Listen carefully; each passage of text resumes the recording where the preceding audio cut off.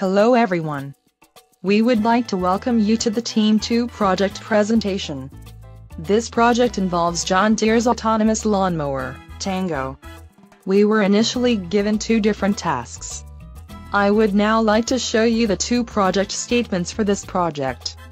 Task 1 is to conceptualize, design, prototype, and test a modified charging station and mower interface, or add-on, that would allow mowers to switch out an almost dead battery for a fresh one. The almost dead battery is then to be charged and should be ready for the next switch out cycle. Task 2 is to improve the homing process. The challenge is to enable the mower to arrive at, and dock with, the charging station in an intelligent way. A good solution will work on non-trivial yards and avoid rutting damage. The team consists of 18 members.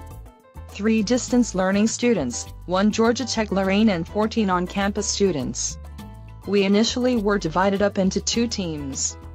Team Marge, maximizing autonomous range, was responsible for Task 1. Task 2 became Team Homer, there was also a leadership team which consisted of six members. The leadership team was responsible for making sure both teams stayed on track. Now we talk about the evolution of the problem statements for tasks 1 and 2. Here is the original problem statement for task 1. Upon review we decided that this task already presented a solution and swapping battery was not the essential problem. To fully open the design space we would need to reverse engineer the essential problem out of this over-defined task. We refocused on maximizing runtime instead of creating a battery swap system. Then we arrived at the modified statement for task 1. After some deliberation we again decided that this was still not the essential problem. Getting the job done was defined as being able to mow the yard in sufficient time as to not interfere with the next mow cycle.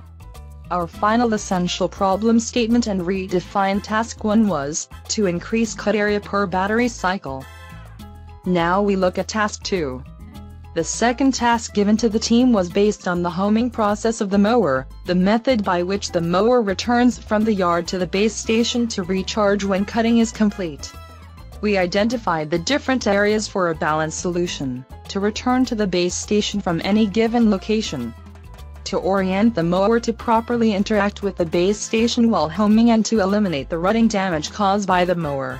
The working group created new statement targeting the core problem, separating the homing task into an arrive at and dock with the base station portions.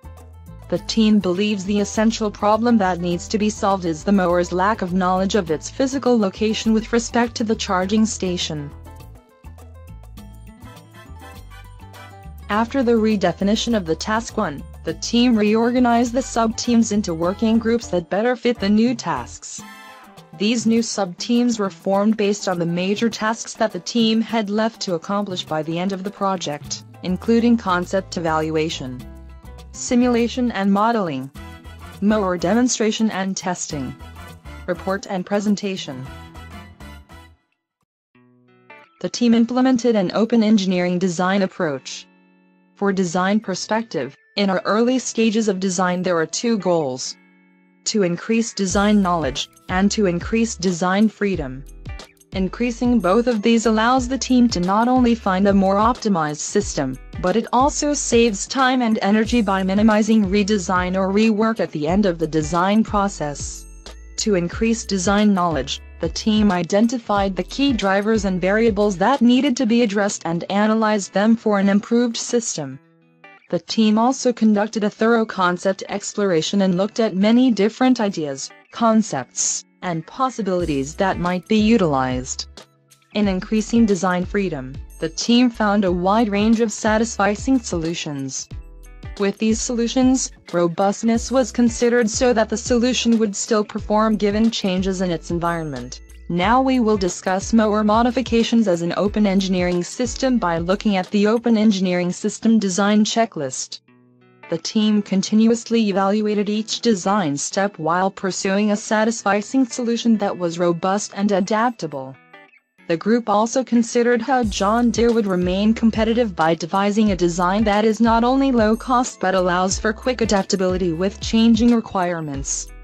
The design is meant to evolve and serve as a model to next generation systems. The team wanted to incorporate and leverage mass collaboration tools and elements for the project. Mass collaboration is a form of collective action that occurs when large numbers of people work independently on a single project often modular in its nature. Our group consisted of 18 students, including DL and on-campus students. The teams split into sub-teams and utilized tools such as Google Hangout to work together and share thoughts, sketches and discussion. Functional diagrams allowed for modular design and task subdivision, which enabled the team to proceed in parallel tasks among modules. The team also used Prezi, Google Docs, and Tasks 3 website to allow open sourcing for peers. The Pahl and Beitz systematic design methodology, outlined in engineering design, is designed to provide a framework for solving engineering design problems, regardless of the scope and complexity. The stages of the P&B method contain several steps designed to help design engineers progress from qualitative to quantitative elements. The P&B method was selected for this project because of its broad applicability to engineering design. While the initial tasks focused on two fairly different aspects of the Tango mower's performance and operation, both could be approached using the P&B. The use of the P&B method also provided uniform metrics for both tasks. The relative progress of one task to the other could be determined by the current stage of the P&B process.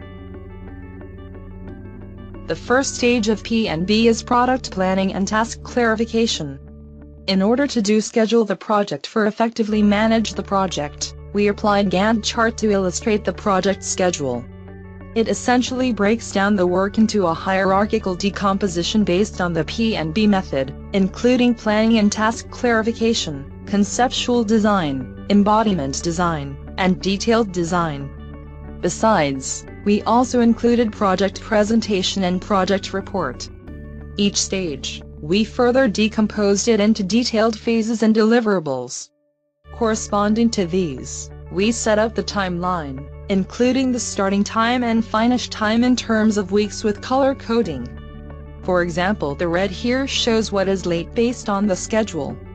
One thing worth mentioning is that we include John Deere in the loop for feedback. We conduct market research in three aspects, including general marketing situation of mowers. We found that Tango E5 from John Deere is in the middle range cost and lower end of the suggested lawn size and the biggest competitor is LawnBotts. In terms of task, we did market research on battery, and find that two ways of charging existing, including take battery out manually, and charging on the mower automatically. It usually needs longer time for changing than running. There are several methods are used for homing methods, including boundary wire, RFID, infrared sensors, ultrasonic, and sonar location and so on. Then, we did the physical tear down of the Tango E5, studied its mechanical, electrical, especially motor and user interface. The pictures here show the tear down. Besides, we also checked the specification of the mower. We found that navigation is random and spiral. Battery is automatic charging which needs 90 minutes, but mowing time is only 60 minutes. The output of product planning and task clarification is requirements list. First we generated requirements list for the project, such as OES and follow a systematic design method. Then specifically we generated requirements lists for the two tasks. Here shows the requirements list in task 1. They are categorized into different categories, and each team member has the chance to contribute during the generation process. Two leaders are responsible for the finalization process. We went through three round of refinement to finalize the requirements list. For example, one demand in the subcategory of installation is equipment should be installed by the dealer, or a determined user. Here shows the final requirements list for task 2. As an example, one wish in the subcategory of navigation is mower should always know its location in the yard. The second stage is conceptual design to begin the conceptual design phase. Essential problems were created for both tasks. These essential problems are a direct result of the team's market analysis and requirements lists already presented. The task 1 essential problem was found to be, develop a system or add-on that would allow mowers to maximize and or improve the runtime to downtime ratio. The task 2 essential problem was found to be, the mower's lack of knowledge of its physical location with respect to the charging station. The function structure for task 1 displays all of the tasks necessary to achieve the essential problem. For task 1, the main task is to maintain power to the mower. To fulfill this main task, the team found the major subtasks to be obtain power, monitor power, and store power. Several possible concepts were developed using a group brainstorming method. These concepts constituted a diverse set of ideas, including concepts from using solar power to provide an additional power source to using a geothermal base station to save on operating costs. To refine these concepts, a HATS method was used to evaluate all possible viewpoints of each of the possible concepts. This HATS method led to a more refined and smaller list of concepts. To evaluate the Task 1 concepts, a set of 11 high-level concepts were developed to satisfy the requirements. Of these 11 concepts, 4 were down-selected based upon input from the entire task team. From these 4 high-level concepts, 11 further low-level concepts were developed as concepts to accomplish each of the high-level concepts. Similarly, these 11 low-level concepts were further down selected to create a list of three low-level concepts that all meet the essential problem previously posed for Task 1.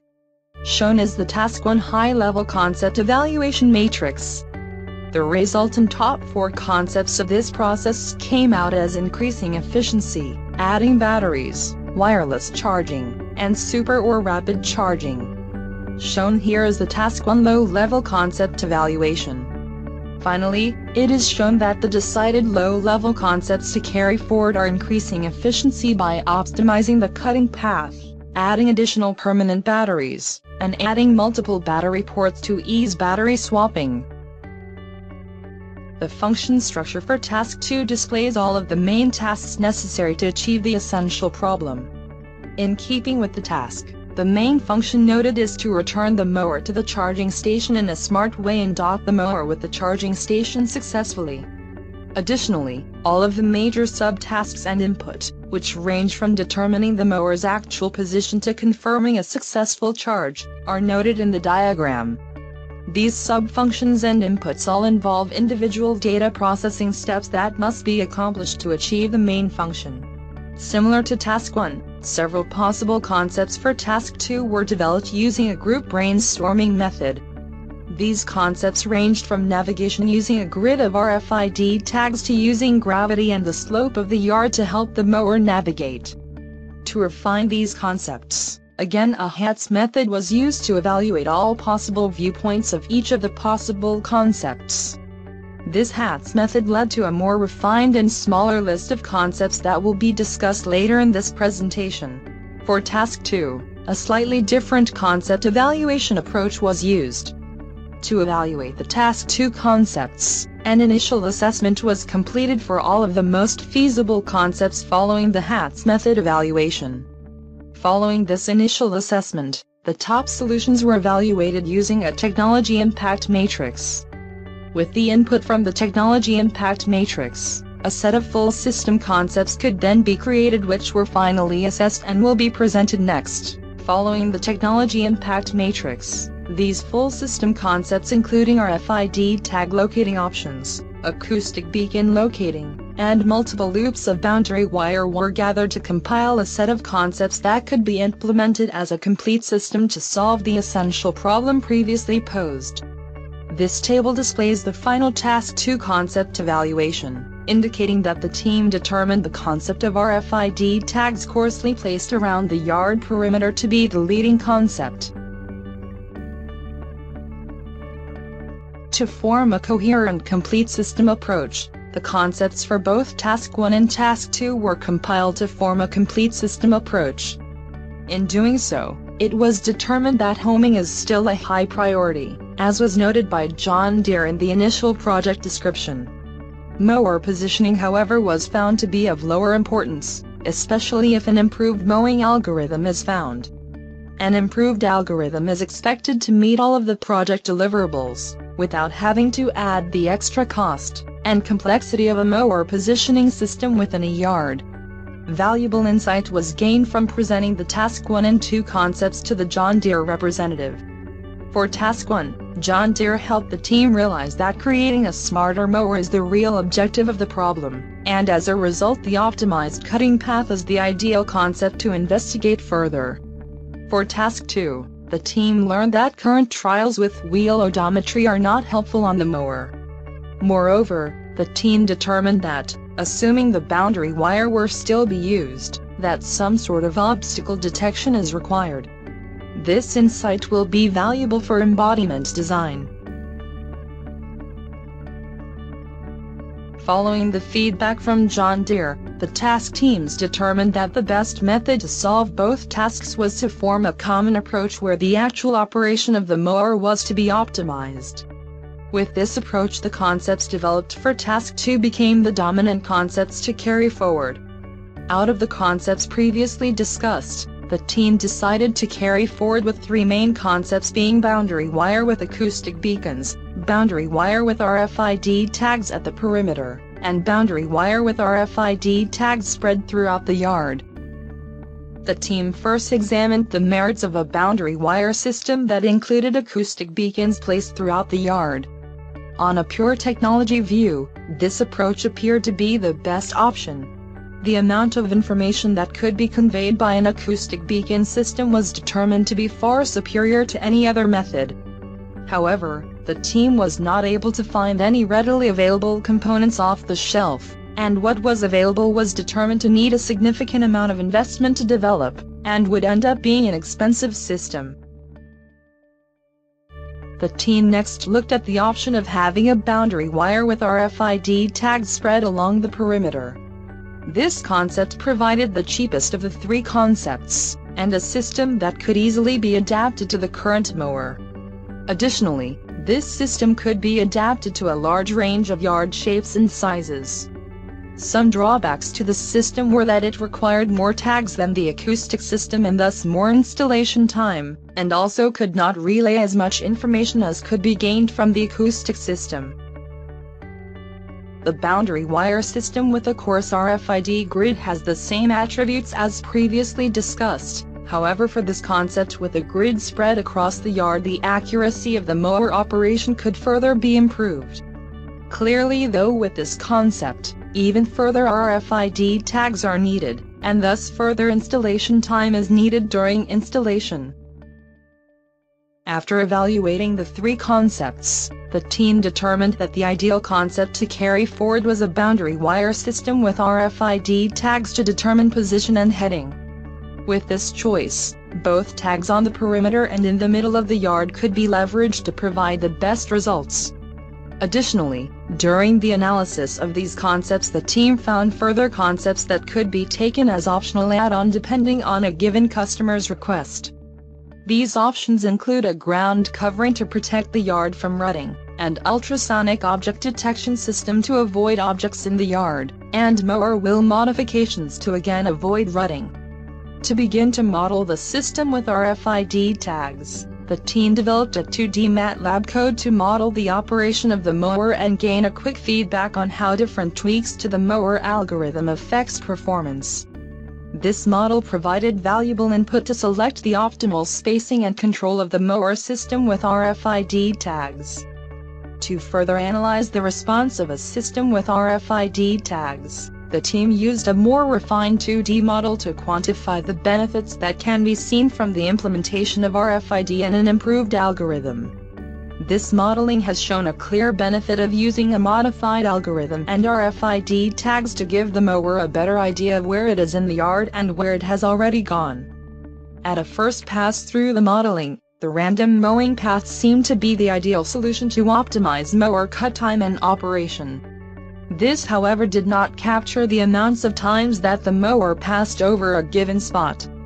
The redundancy serves to decrease mowing efficiency and over the entire yard decreases the effectiveness of the approach. This impact of redundancy will be explored further in the next slides. Finally, the true impact of redundancy is shown here. At very low percentages of lawn mode, all concepts seem to have very low redundancy.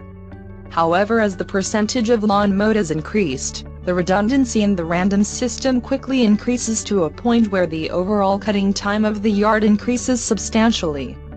This impact serves to show that an optimized cutting path clearly is beneficial to the system as a whole and can provide a tangible benefit to the mower system. The team began prototyping the concept selected, by learning about the mower as it was designed. This included the teardown that was mentioned earlier fixing broken parts of the mower, and setting up a sample yard with boundary wires, to allow the mower to operate as it was designed. Once this was verified, the team began to use the Raspberry Pi included in the development kit, to implement the design changes. It was discovered that the code contained on the Pi was not sufficient to operate the mower, in its normal mowing and homing modes. Therefore, the team concluded that it must show a different version of its design as a simple proof of concept. Code was written to open a serial port, so that the Raspberry Pi could read an RFID tag numbers over USB connection. The ID values obtained by the RFID reader were compared to a table of values, by which simple commands could be executed on the mower based on which RFID tag the mower encountered. This made it possible for the mower to read a tag and get heading information in order to take a direct path to the charging station. We show the final design rather than detailed design base P and B method in this project. However, the RFID project concerning homing has no final design, because it is still in research and development phase. For path planning, we see that it takes the random method almost four times longer that the optimized method to cut 90% of the yard. Heat maps were created to show how many times the mower recuts the same portion of lawn. This was a great way to visualize how inefficient the random method mower actually is. The RFID and ideal methods show very minimal overlap and prove to be great time savers. The section that does show up as overlap reveals the additional steps necessary to avoid the static object according to their respective techniques.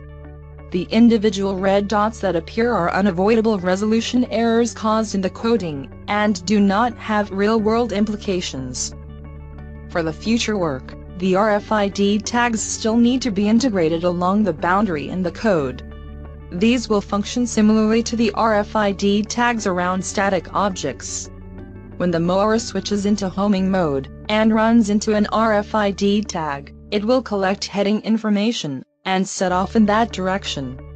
Ideally, the mower will make a direct path home, but there will be some random errors.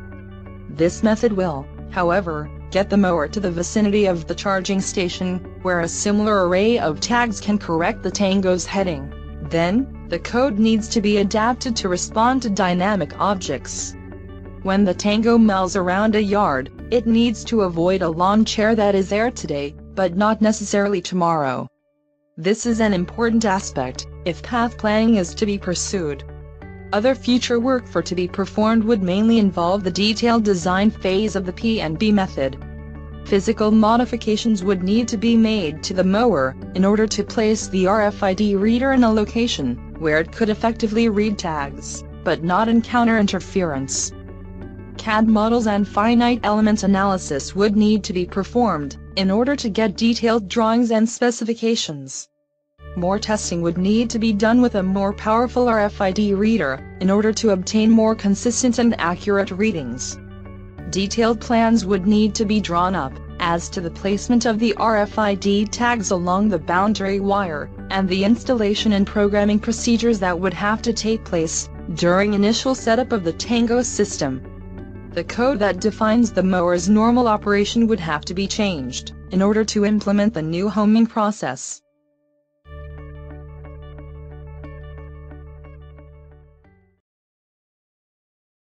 This is how the world works.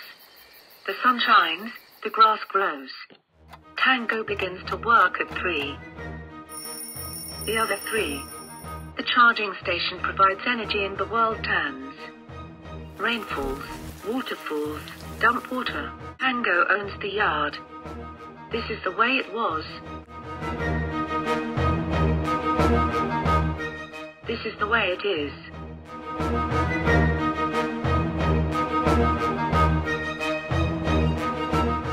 And this is the way it will be.